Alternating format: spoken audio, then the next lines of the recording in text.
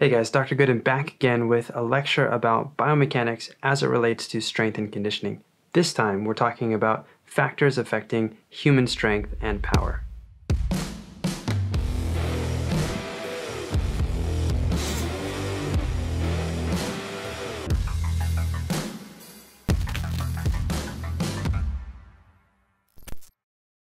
As I mentioned in the intro, we are talking about factors affecting human strength and power from a biomechanical perspective. Now, this comes from chapter two of the Essentials of Strength Training and Conditioning textbook put out by the NSCA. This chapter in particular was written by Dr. Jeffrey McBride. Okay, let's get into the material.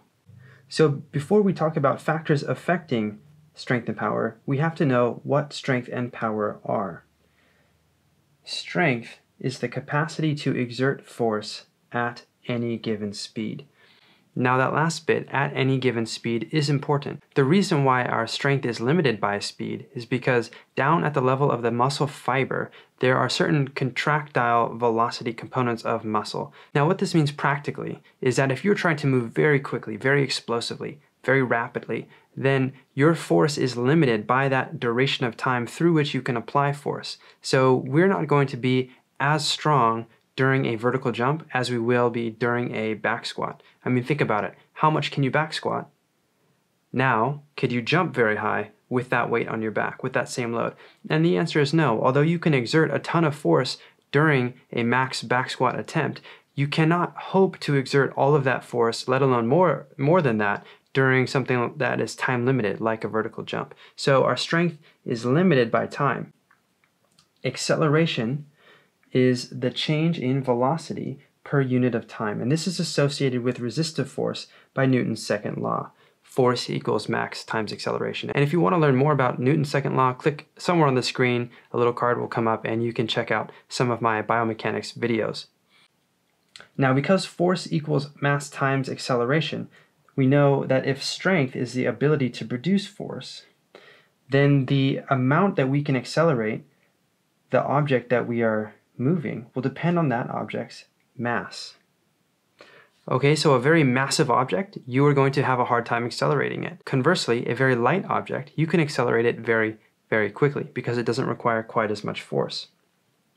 Power, outside of the scientific realm, is loosely defined as explosive strength. So in athletics, we would call somebody powerful if they can move another load very quickly or if they can move their own body very quickly. They're they're explosive, right? If they have great jump height or they can knock someone down. But it can also be defined as the rate of doing work. So power is also equal to work divided by time.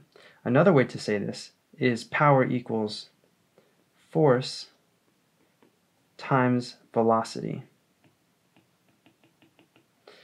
And I really like that force times velocity definition because it reminds us that the greater the force you need to exert, the lower the velocity of that exertion can be given a static amount of power available. If the force requirement is lower, then we can move at a much quicker velocity. Okay, think about a medicine ball that weighs six pounds. How high could you throw that versus a medicine ball that weighs 60 pounds? There's a much greater force requirement for that 60 pound medicine, medicine ball. So you will have a harder time accelerating it as quickly as you would the six pound medicine ball. Then we can define work as the product of force exerted on an object and the distance that the object moves in the direction that the force is exerted. So for uh, work equals force times displacement. A practical example of this is a tall individual versus a short individual and the amount of work that they are completing with a 100 kilogram back squat.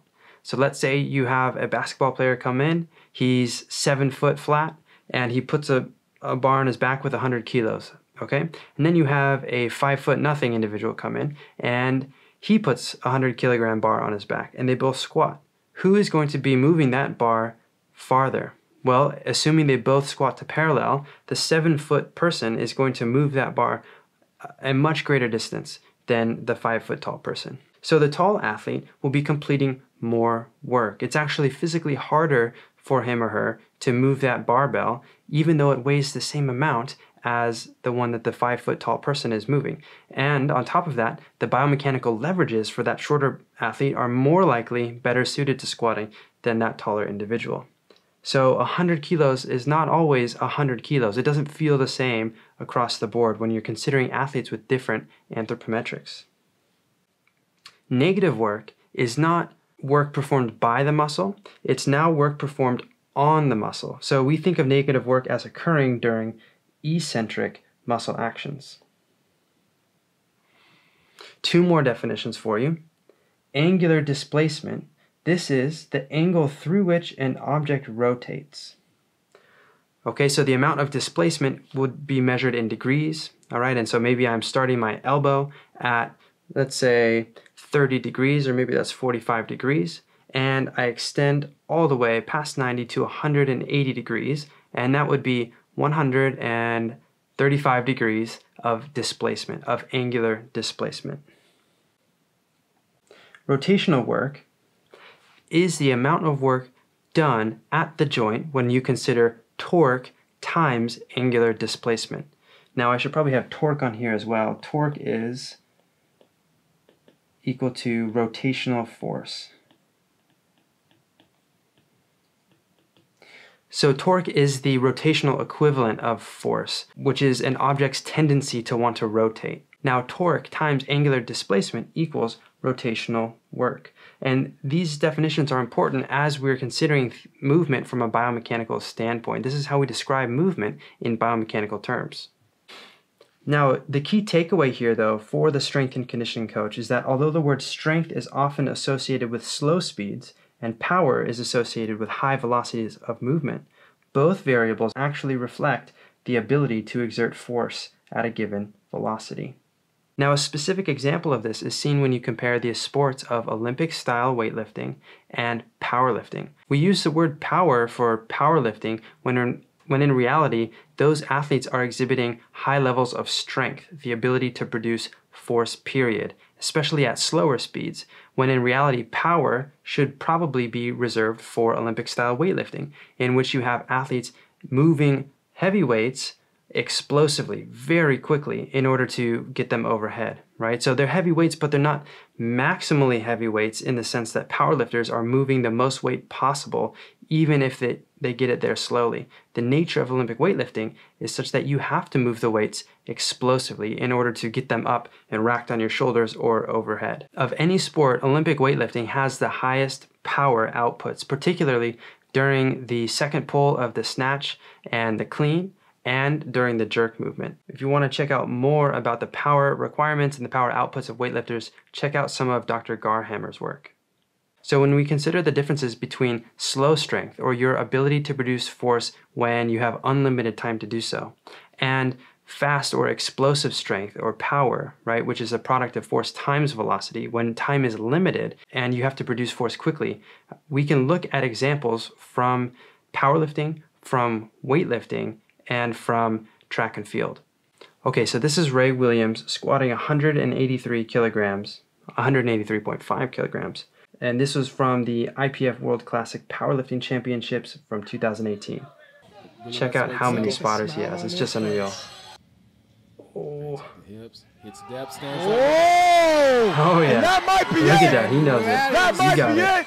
Crazy. Okay, so he was red lighted on that, meaning he didn't squat quite as low as he needed to by the judges' standards to make that a clean attempt. However, you can see how that back squat it it it seemed like he was in the hole for eternity, and that was actually a fast squat for powerlifting. Sometimes those guys and girls really grind it out for a long time in the hole. Their ability to produce force in the back squat is not limited by the amount of time that they have to do it. They could stay there for a long time if they had the muscular endurance for it. Okay, let's look at an example from weightlifting. Okay, so this is Clarence Kennedy. He's an Irish weightlifter. He doesn't compete anymore, but he's a super strong dude. So let's watch him clean and jerk 222 and a half kilograms. Much less than a thousand pounds, but watch how explosive it is. All right, here comes the jerk. Oh,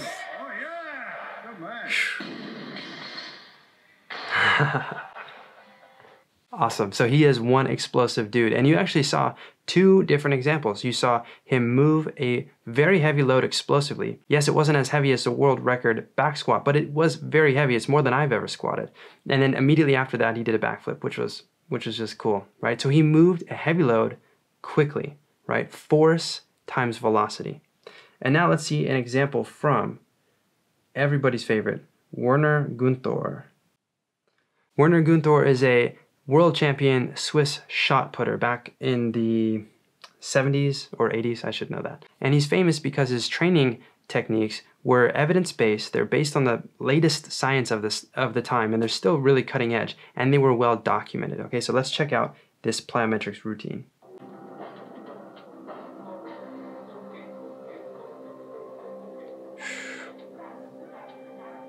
And he's going, he's going. That was awesome. I mean, imagine the explosiveness in this guy's quads and his glutes. It's just phenomenal. So here's the key point, you guys. Strength and power, they're biomechanical terms technically, but we have to use them appropriately. When we say somebody is strong, what we're not saying is that there is some implied velocity component to that strength. Are they strong when time is unlimited and you can exhibit that force slowly?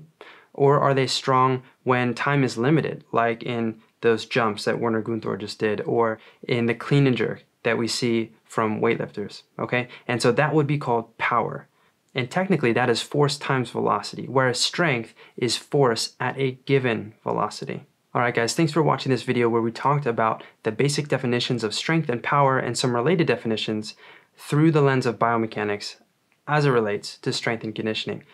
In the next video, we are going to talk about some of the biomechanical determinants of strength and power in humans. So stay tuned for that video. It will appear somewhere on the screen. If you guys had any questions, ask them down below. And until next time, stay strong.